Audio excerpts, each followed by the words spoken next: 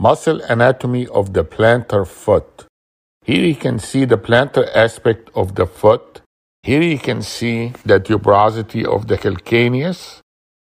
Here you can see the plantar fascia, the plantar aponeurosis, the medial band of the plantar aponeurosis, the lateral band of the plantar aponeurosis.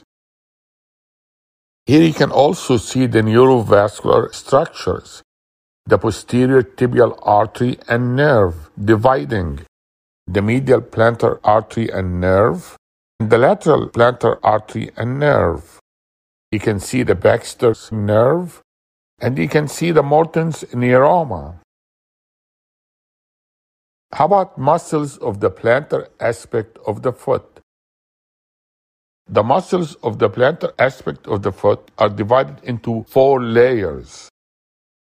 The first layers got three muscles the flexor digitorum brevis muscle, the abductor digiti minimi muscle, and the abductor hallucis muscle. The second layer got two tendons and five muscles the flexor hallucis longus tendon, and the flexor digitorum longus tendon. What are the five muscles? Quadratus plantae muscle and four lumbrical muscles. The third layer got three muscles.